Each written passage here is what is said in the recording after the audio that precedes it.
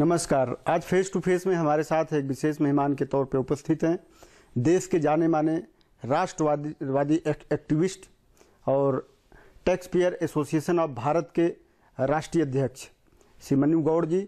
मनु गौड़ जी आजकल अपने एक्टिविज्म को लेकर के पूरे देश में चर्चित हैं।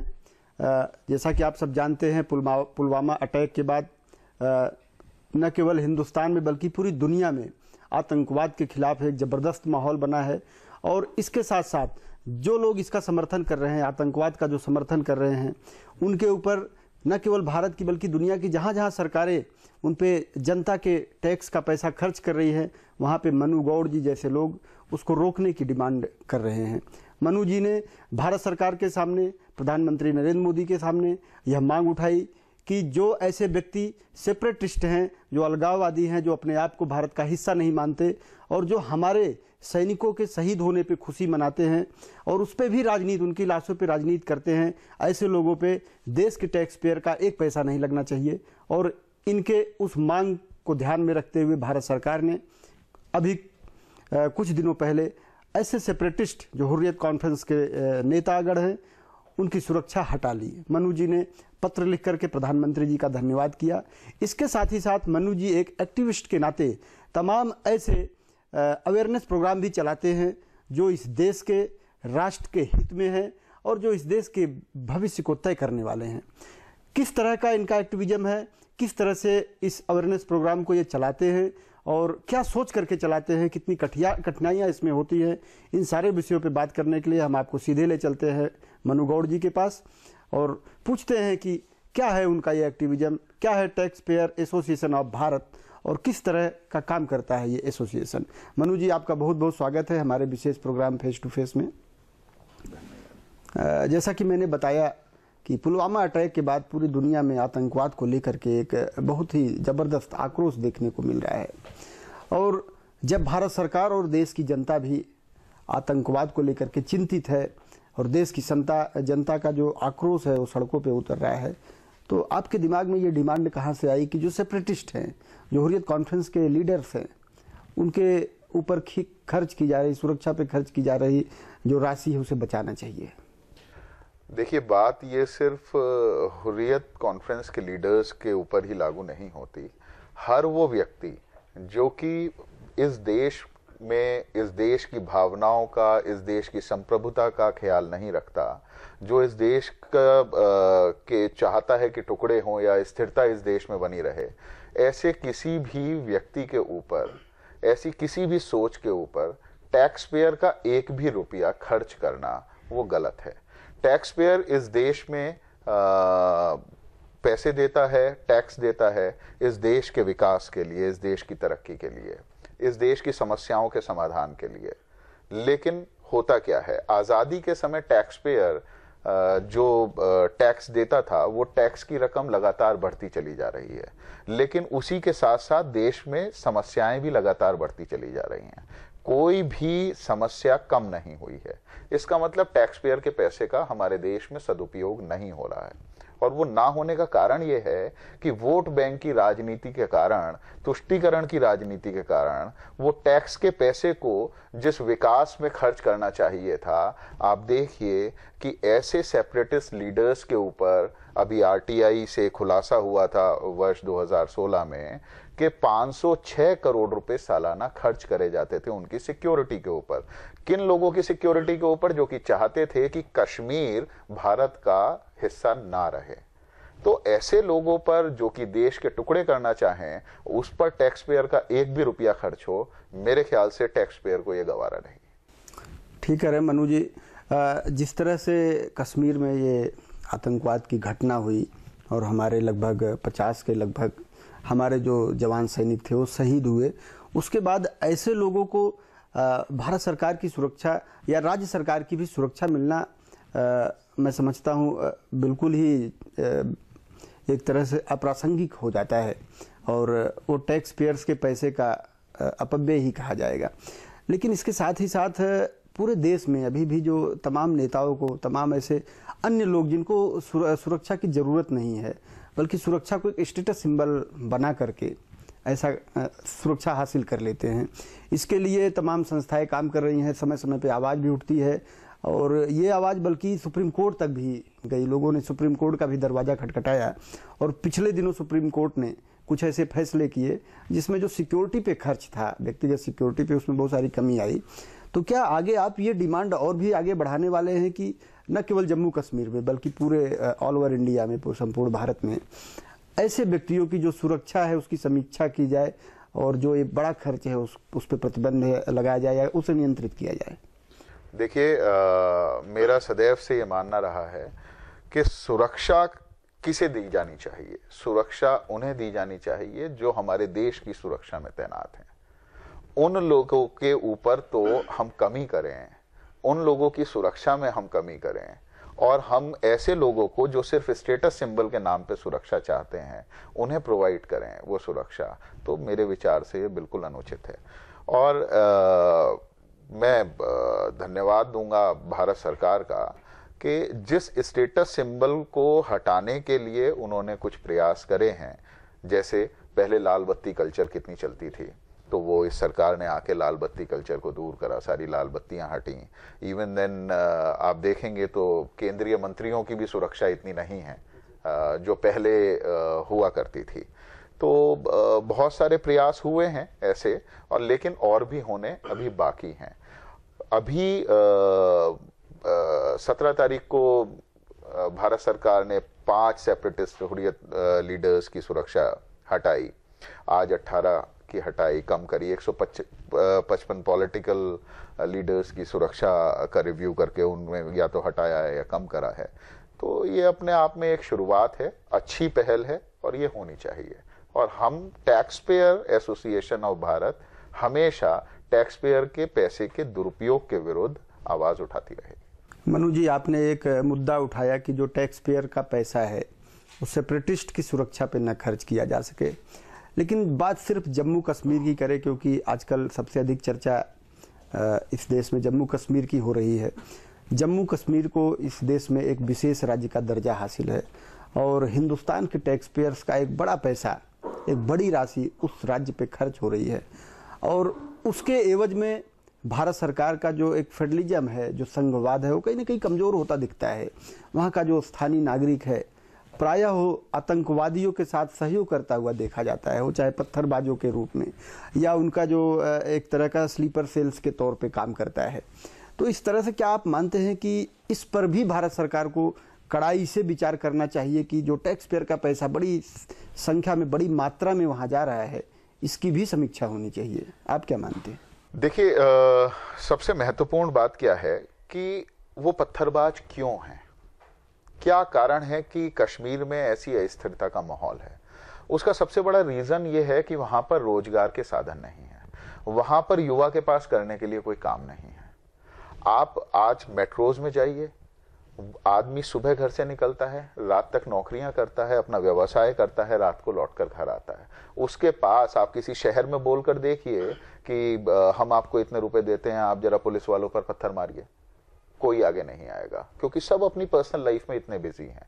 लेकिन हमारे यहाँ ये जो राजनीति वोट बैंक की राजनीति फिर से कहूँगा, इसके कारण जो हर चीज़ फ्री में देने की आदत पड़ चुकी है।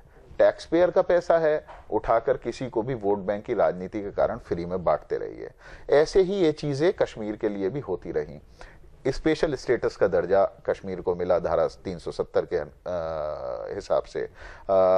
पैंतीस ए के हिसाब से वहाँ पर कोई भी आउटसाइडर वहाँ पर प्रॉपर्टी एक्वायर नहीं कर सकता परमानेंट रेजिडेंट नहीं हो सकता वहाँ पर।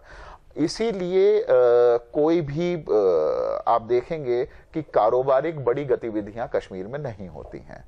तो जब तक वहाँ पर रोज़गार उपलब्ध नहीं होंगे जब तक अच्छा जीवन उपलब्ध नहीं होगा वहाँ पे इन्वेस्टमेंट्स नहीं होंगे तब तक युवा कुछ और सोचेगा ही नहीं। वो खाली दिमाग शैतान का घर। और जो भी आएगा, वो उसे कुछ भी भड़काएगा, वो उस रास्ते पे चले जाते हैं। तो कश्मीर के लिए सबसे ज़्यादा ज़रूरी है कि कम से कम आप धारा 370 हटाने का एक कॉन्स्टिट्यूशनल प्रोविज़न है, लेकिन सेक्शन थर्टी फाइव ए आप हटाइए, जिससे कि आउटसाइडर वहाँ पर जाकर बस सके, जो आउट और वो वहाँ पर जाकर कारोबार कर सके, वो वहाँ पे जाके इंडस्ट्रीज़ लगा सके, वो वहाँ पे और भी व्यवसाय कर सके, जिससे वहाँ के लोकल युवाओं को रोज़गार मिले। जब उनकी कमाई होगी तो कम से कम वो ऐसी स्थिति की तरफ़ नहीं जाएँगे। आप ठीक कह रहे हैं, लेकिन मैं आपकी बात से थोड़ा सा असहमत हूँ, क्योंकि इस देश के तमाम ऐसे राज्य हैं जहाँ पे आप बेरोजगारी की जो दर है, जो रेट ऑफ़ अनएम्प्लॉयमेंट आप देखेंगे बहुत अधिक है, लेकिन वहाँ कोई इस तरह का क्राइम आपको नहीं मिलेगा, और यह अपराध से भी एक कदम आगे बढ़ के जो आतंकवादियों का साथ देना और राष्ट्रद्रोह की श्रेणी में आता है। और कोई भी व्यक्ति अनएम्प्लॉयड होने के नाते राष्ट्रद्रोही गतिविधियों में शामिल हो, इसका किसी भी तरह समर्थन नहीं किया जा सकता। कोई तर्क हम दे करके उन्हें बचा नहीं सकते कि वो बेरोजगार हैं, इसलिए ऐसा करें, क्योंकि इस देश के तमाम ऐसे राज्यों में आप एक एनजीओ चलाते हैं तो आपके पास बहुत सारे आंकड़े भी आते होंगे कि बहुत सारे राज्य ऐसे हैं जहाँ पे बेरोजगारी की दर बहुत अधिक है। लेकिन वहाँ इस तरह की घटनाएँ बिल्कुल नहीं होती। देखिए, आप जहाँ जहाँ भी देखेंगे, जिस बारे में आपने बात करी, जिन राज्यों में बेरोजगारी की दर अधिक है, वहाँ पे या तो नक्सल है, या कश्मीर में आतंकवाद है या नॉर्थ ईस्ट में आतंकवाद को किस तरीके से खत्म किया गया अभी सरकार ने के द्वारा लेकिन वो सारी चीज़ें वो गरीबी वो आ, मजबूरी जो है जीवन की वो उन सारी चीज़ों को क्योंकि उन्हें जब संसाधन नहीं मिलेंगे वो अपॉर्चुनिटीज़ नहीं मिलेंगी तो कोई भी आदमी आएगा वो उन्हें बहकाएगा और वो बहकेंगे। ये हर जगह आप देखिए नक्सल किस किस क्षेत्रों में है। तो ये बात सिर्फ़ कश्मीर की नहीं है, हिंदुस्तान के हर हिस्से की है। और समान अपॉर्चुनिटीज़ क्यों नहीं मिल पाती? हर साल हम दो करोड़ से ज़्यादा बढ़ जाते हैं। आप कितने रोज़गार दे दोगे? इस पर कोई राजनीतिक दल बात नहीं करता कि किस तरीके से आप अपनी जनसंख्या का नियंत्रित करें, जनसंख्या को, जिससे कि आप सबको समान संसाधन दे सकें। बिल्कुल, आप, आपने जो मुद्दा उठाया इस मैं आपके बारे में पढ़ रहा था तो ये भी था कि जनसंख्या नियंत्रण को लेकर के आपने बहुत ज़बरदस्त एक बड़ा देशव्यापी अभियान चलाया हुआ है। उसके बारे में भी कुछ हमारे दर्शकों को बताया कि किस तरह का अभियान है। और ये डिमांड अगर आप करते हैं ये मांग करते हैं तो निश्चित रूप से आपके पास कुछ सुझाव भी होंगे कि जनसंख्या को नियंत्रित किस तरह से किया जाए, क्योंकि ये डेमोक्रेटिक कंट्री है और वर्तमान समय में डेमोक्रेसी के बाहर आप सोच नहीं सकते कि आप राजतंत्र की तरह ज़बरदस्ती कोई कानून ला करके लागू कर दे, वैसा संभव नहीं है आज के समय में। तो सुझाव क्या है आपके? मांग क्या है आपकी जनसंख्या को नियंत्रित करने की? और उसको नियंत्रित करने का रास्ता क्या आप देखते हैं? क्या समझते हैं? देखिए जब हमारा देश आज़ाद हुआ तो उस समय हमारे देश की जनसंख्या थी छत्तीस करोड़ के आसपास। और आज जाकर हमारे देश की जनसंख्या 142 करोड़ से भी ज़्यादा हो चुकी है, जबकि सरकारी आंकड़े कुछ और प्रदर्शित करते हैं। वर्ष 2000 में 11 मई को इस देश के 100 करोड़वे बच्चे ने जन्म लिया। उसका नाम है आस्था अरोड़ा। तो तब से लेकर आज तक हमारी जनसंख्या 42 करोड़ बढ़ चुकी है सन 2000 से आज तक। तो हम दो करोड़ से अधिक हर साल बढ़ रहे हैं। और ये 142 करोड़ कम से कम क्यों है? ये जब आप आधार कार्ड जो आजकल बन रहे हैं तो आप आधार कार्ड की वेबसाइट पे जाएँगे हमारी पूरी रिपोर्ट भी पब्लिश है इस पर। आ, वो आधार कार्ड के अनुसार आपको ज्ञात होगा कि अब तक लगभग 123 करोड़ लोगों के आधार कार्ड बन चुके हैं। 133 करोड़ के करीब लोगों के बनने थे 2018 तक, जैसे आधार ने बताया था। लेकिन बहुत सारे स्टेट्स ऐसे हैं जहाँ पर बहुत ओवर अचीव हुए हैं प्रोजेक्ट प्रोजेक्टेड पॉपुलेशन के हिसाब से। दिल्ली 100 लोगों के आधार कार्ड बनने थे 120 लोगों के बन चुके हैं, और फिर भी अभी बनने बाकी हैं। तो अगर आप वो सारी फिगर्स का कैलकुलेशन करेंगे तो आपको पता लगेगा कि 142 करोड़ कम से कम हमारे देश की इस समय वर्तमान आबादी है। और जो कि अगले 35 साल में 200 करोड़ कम से कम होगी, इसे कोई नहीं रोक सकता। तो आप क्या कर रहे हैं? हम लोग सबको घर देने की बात करते हैं। हम लोग सबके घर में शौचालय देने की बात करते हैं। हर घर में बिजली देने की बात करते हैं। हर घर में चूल्हा देने की बात करते हैं। बहुत आवश्यक है। देना भी चाहिए। लेकिन अगले 35 साल में बढ़ने वाली और जो पैंसठ करोड़ आबादी है, उसे वो संसाधन कहाँ से आएँगे? फिर वो सारा बोझ किस पे आएगा? फिर वो सारा बोझ टैक्स पेयर पे आएगा। वो टैक्स पेयर पे आएगा और ये डिमांड कभी हम पूरी कर ही नहीं पाएँगे। तो एक सेचुरेशन लेवल कब आएगा हमारे देश की समस्याओं के लिए? कब वो समस्याएँ कम होनी शुरू होंगी? कब सबके सिर पर छत होगा? कब सबको शौचालय मिलेगा? इसके विषय में कोई नहीं सोचता, बस एक अंधे रास्ते पे चले चले जा रहे हैं। तो बिना जनसंख्या नियंत्रण करे कुछ नहीं हो सकता। अब जब इतने वर्षों से 1974 से आज तक टैक्स पेयर का सवा दो लाख करोड़ रुपया खर्च करा फैमिली प्लानिंग स्कीम्स में भारत सरकार ने। और अगर आप इसे रियल टाइम मनी में कन्वर्ट करेंगे तो ये 20 लाख करोड़ के आसपास बैठता है। मतलब भारत सरकार का एक साल का रेवेन्यू कलेक्शन तो 20 लाख करोड़ रुपया खर्च करके हमारी आबादी इतनी बढ़ गई है टैक्स पेयर का पैसा खर्च करके। आप क्यों नहीं रोकते? या तो वो पैसे का दुरुपयोग हुआ है। और उसे रोकने का क्या कारण है? आपने बहुत नारे दिए, छोटा परिवार, सुखी परिवार, हम दो, हमारे दो। जब व्यक्ति नहीं समझता तो कानून बनाया जाता है। लोग बाग जब पहले सरकारें अवेयरनेस चलाती हैं किसी भी चीज़ को लेके ड्रंक एंड ड्राइविंग के केसेस होते हैं शराब पी के लोग बाग गाड़ी चलाते हैं सब पढ़े लिखे लोग होते हैं सरकार बहुत अवेयरनेस पे पैसा खर्च करती है। वो तब भी नहीं समझते तब कानून बनाया जाता है। तो इसीलिए इस देश में जनसंख्या के ऊपर एक कानून बनने की आवश्यकता है। उसी का ही एक ड्राफ्ट अभी कुछ दिन पहले आ, हम लोगों ने महामहिम राष्ट्रपति जी को भी सौंपा था जिम्मेदार अभिभावक अधिनियम रेस्पॉन्सिबल पेरेंटहुड एक्ट उसमें हमने बहुत सारे सुझाव दिए हैं कि कैसे इस देश की जनसंख्या को आप नियंत्रित कर सकते हैं। दो बच्चों से अधिक जो लोग पैदा करें, उनका बर्डन उनके तीसरे बच्चे का या उस परिवार का बर्डन टैक्स पेयर पे नहीं पड़ना चाहिए। कोई अगर तीसरा बच्चा पैदा कर रहा है, चौथा बच्चा पैदा कर रहा है तो उसे उसके डिसइंसेंटिव्स जो हैं, वो भुगतने चाहिए। वो सारी गवर्नमेंट फैसिलिटीज़ जो हैं, जो टैक्स पेयर के पैसे से दी जाती हैं, वो सिर्फ़ दो बच्चों तक सीमित रखनी चाहिए। जिन लोगों को, जो लोग छोटे परिवार, सुखी परिवार की परिकल्पना को नहीं समझते, इतने वर्षों के बाद भी, जो लोग अपना परिवार ढंग से नहीं चला सकते, उन्हें सरकारी मदद की तरफ़ देखना पड़ता है तो उन लोगों को आप इस देश को चलाने वाले नेताओं की, को चुनने की ज़िम्मेदारी कैसे दे सकते हैं? तो जिनके दो से ज़्यादा बच्चे हों उनके वोटिंग राइट्स खत्म होने चाहिए। जिससे कि समझदार लोग एक अच्छे जनप्रतिनिधि का चुनाव करें जो कि इस देश हित में अच्छी पॉलिसीज़ बना सकें। तो ऐसे बहुत सारे सुझाव आ, उस रेस्पॉन्सिबल पेरेंटहुड एक्ट में हम लोगों ने दिए हैं। आप ठीक कह रहे हैं। मैं आपको बताना चाहूँगा कि देश के कई राज्य सरकारों ने ऐसी व्यवस्था की है कि जिनको दो से अधिक बच्चे हैं, वो नगर पालिका नगर निगम के चुनाव नहीं लड़ सकते, पंचायत के चुनाव नहीं लड़ सकते। उत्तराखंड में भी अभी हाल ही में चुनाव हुआ तो यहाँ, वहाँ भी ये बात उठी थी। सरकारों ने अपने स्तर पे तो किया है। बात करें संविधान की तो संविधान जब लागू हुआ 1950 में, तब भी ये चर्चा की गई उसमें, और उसमें कॉमन सिविल कोड का प्रावधान रखा गया लेकिन उस समय देश की परिस्थिति ऐसी नहीं थी कि कॉमन सिविल कोड को लागू किया जा सके, और उसे भविष्य के नेताओं पर छोड़ दिया गया। लेकिन संविधान लागू होने के आज लगभग सात दशक के बाद भी हमारे नेता उस स्थिति में नहीं आ सके कि कॉमन सिविल कोड लागू करें।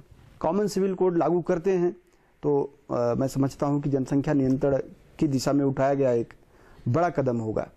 मैं जानना चाहता हूँ कि इसको लेकर के जो आपका अभियान है वो किस तरह का अभियान है और किस तरह से आप चलाते हैं उसे? देखिए सबसे पहला काम है देश की जनता को जागरूक करना। अगर देश की जनता जागरूक हो गई तो वो नेताओं से अपने हिसाब से खुद काम करवाना जानती है। तो हमारा प्रयास रहता है कि जनसंख्या से होने वाली, उत्पन्न होने वाली जितनी भी समस्याएँ हैं, भविष्य में हमारे बच्चों को क्या भुगतना पड़ेगा उनकी वजह से, उसके बारे में हम देश की जनता को अवेयर करें। जिससे कि पूरे देश की जनता सरकार पर अपने जनप्रतिनिधियों पर दबाव बनाए जनसंख्या नियंत्रण कानून बनाने के लिए। जैसा कि आपने यूनिफॉर्म सिविल कोड की बात की भारत विश्व में सबसे पहला देश था जिसने उन्नीस सौ बावन में दुनिया का सबसे पहला फैमिली प्लानिंग प्रोग्राम स्टार्ट किया। और आज हम दुनिया के सबसे आबादी वाले देश हो चुके हैं। तो आ, ऐसा नहीं है कि हमारे नेताओं को चिंता नहीं रही है उन्होंने सोचा नहीं है। उन्नीस सौ बावन में जवाहरलाल नेहरू ने सोचा उन्नीस सौ चौहत्तर में इंदिरा गांधी संजय गांधी ने सोचा। 2000 में आ, हमारी नेशनल पॉपुलेशन पॉलिसी बनी अटल बिहारी वाजपेयी जी ने सोचा। तो आ, ये अपार्ट फ्रॉम पॉलिटिकल पार्टीज़ ये मुद्दा हमेशा रहा है। लेकिन 74 के वो फोर्स स्टेलाइजेशन प्रोग्राम के बाद कोई भी राजनीतिक दल इसे छूने से घबराता है। क्योंकि वो वोट बैंक की राजनीति हो गई है। इसे बहुत से लोग धार्मिक आधार पर ले जाते हैं। और जो लोग धार्मिक आधार पर इस मुद्दे की चर्चा करते हैं, वो लोग इस विषय की गंभीरता को खत्म करते हैं। तो अगर व्यक्ति को जीने के लिए तीन चीज़ें चाहिए। सांस लेने के लिए हवा, पीने के लिए पानी और खाने के लिए भोजन। ये तीनों चीज़ें प्रदूषित हो चुकी हैं। तो हमारे बच्चा, चाहे वो बच्चा हिंदू का हो या मुसलमान का हो या सिख का हो या ईसाई का हो, सांस लेने के लिए शुद्ध हवा किसी को भी नहीं मिलेगी। वो ये नहीं है कि हिंदू को ही नहीं मिलेगी या मुसलमान को ही नहीं मिलेगी। पीने को शुद्ध पानी किसी को भी नहीं मिलेगा। वो संसाधनों का जो दोहन हो रहा है अधिक जनसंख्या का कारण तो उसका नुकसान सबके बच्चों को भुगतना पड़ेगा। सारे धर्म के बच्चों को भुगतना पड़ेगा। तो इस चीज़ को हम नहीं सोचते। हम सिर्फ़ राजनीतिक लाभ के कारण धार्मिक आधार पे चले जाते हैं। जिससे हम लोग वोट बटोर सके। तो आज तक आप देखिए कि 35 प्राइवेट मेंबर बिल पार्लियामेंट में पैंतीस सांसद लेकर आए। उसमें पंद्रह कांग्रेस के सांसद हैं, आठ भाजपा के सांसद हैं। तो अगर कांग्रेस इस पे सीरियस नहीं रही तो उसके पंद्रह सांसद क्यों लेकर आए? 1992 में पीवी नरसिंह राव सरकार seventy ninth constitution amendment bill Rajya Sabha में दो बच्चों के प्रावधान के ऊपर लेकर आई थी। जैसे आपने बताया अभी कि लोकल बॉडी इलेक्शंस में कुछ राज्यों में ऐसा है कि दो से अधिक बच्चे वाले चुनाव नहीं लड़ सकते। वो ही प्रावधान एमपी एमएलए एमएलसी इनके चुनाव में भी हो, इन पर भी लागू हो तो उसके लिए ये seventy nine constitution amendment bill लाया गया था। लेकिन वो आज तक पेंडिंग पड़ा हुआ है। डिस्कशन ही नहीं हुआ उस पर तो वो भी कांग्रेस के लीडर्स और प्राइम मिनिस्टर लेकर आए थे। लेकिन यही जो वो वोट बैंक की राजनीति ऐसी हो गई है, इसके कारण सब लोग कि ये हमारा मुद्दा नहीं है, ये हमारा मुद्दा नहीं है, पूरा देश कह रहा है, हज़ारों वीडियोस लोग बाग हमारे पास बनाकर रोज भेजते हैं। जो जनसंख्या नियंत्रण कानून की डिमांड करते हैं। इतने सांसद 125 सांसदों ने समय मांगा पत्र लिख के, हस्ताक्षरित पत्र लिख के लोकसभा स्पीकर से कि आप इन पेंडिंग बिलों पर चर्चा कराइए संसद में। समय नहीं दिया गया, क्योंकि ये एक ऐसा मधुमक्खी का छत्ता है, इसे कोई हाथ नहीं लगाना चाहता कोई राजनीतिक दल। तो इस देश की जनता के ऊपर है कि वो इन नेताओं पर कैसे दबाव बनाए। और हमारी ये अपील इस बार देश की जनता से है कि 2019 के चुनाव में वोट देने से पहले ये ज़रूर पूछें अपने जनप्रतिनिधियों से कि जो जनसंख्या नियंत्रण कानून का समर्थन करे, वोट उसे ही दे। बिल्कुल, मनु जी, आपने कुछ बहुत महत्वपूर्ण मुद्दे उठाए और ये इस देश के भविष्य से जुड़े हुए मुद्दे हैं।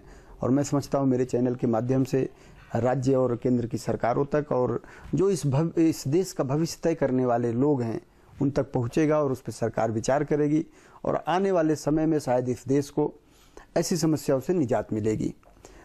जिस तरह से आपका परिचय है कि आप एक एनजीओ चलाते हैं और हमारा ये प्रोग्राम भी व्यक्तित्व आधारित प्रोग्राम है तो थोड़ा अपने व्यक्तित्व और व्यक्तिगत जीवन के बारे में बताएँ कि कहाँ पे आप पैदा हुए किस तरह से पले बढ़े शिक्षा दीक्षा हुई और समाज सेवा के क्षेत्र में आने का आने की प्रेरणा कैसे मिली? देखिए मैं देहरादून में रहता हूँ छोटा सा परिवार है दो बच्चे हैं मेरे आ, एक बेटा और एक बेटी। आ, सब लोग हमारे देश के लोग बाग जो हैं वो हर व्यक्ति बहुत पैसे कमाना चाहता है। वो बहुत पैसे क्यों कमाना चाहता है कि अपने परिवार के लिए, अपने बच्चों के लिए? उसे ये लगता है कि मेरे बच्चे तो शायद जीवन में कुछ करेंगे नहीं, वो नाकारा ही रहेंगे तो मैं उनके लिए इतना कमा के छोड़ जाऊँ कि उन्हें जीवन में कुछ करने की आवश्यकता ही ना पड़े। उनके लिए छोड़िए, उनके भी अपने पोते पोतियों के लिए भी मैं छोड़ जाऊँ। तो हर व्यक्ति बस पैसे कमाने में लगा है, लेकिन ये नहीं सोच रहे कोई भी कि जो पैसा आप अपने बच्चों के अच्छे भविष्य के लिए छोड़ के जाएँगे भविष्य में शायद वो उस पैसे का उपयोग नहीं कर पाएँगे। आज स्थिति ये हो गई है कि दिल्ली जैसे देश के राजधानी में प्रदूषण के कारण बच्चों की स्कूल से छुट्टी करानी पड़ती है। पंद्रह लाख लोग हर साल हमारे भारत में वायु प्रदूषण से मरते हैं। तो इन सारी चीज़ों को देखते हुए सोचा और आज से पाँच साल पहले आ, हम कुछ लोगों ने कुछ मित्रों ने और ये सोचा कि बच्चों के लिए, अपने बच्चों के लिए अच्छा पैसा छोड़ के जाने की जगह अच्छा राष्ट्र, समाज छोड़ के जाना ज़्यादा उचित है। उसी को ध्यान में रखते हुए ये tax payers association of Bharat हमने बनाया और तब से हम इस क्षेत्र में काम कर रहे हैं। चलिए, आप मेरे शो में आए, अपना बहुमूल्य समय दिया, अपने जो विचार हैं वो हमारे दर्शकों से शेयर किए। आपका बहुत बहुत आभार और धन्यवाद। ये थे हमारे साथ tax payer association of Bharat के राष्ट्रीय अध्यक्ष मनु गौड़ जी, जो एक सोशल एक्टिविस्ट हैं, पूरे देश में अवेयरनेस प्रोग्राम चलाते हैं।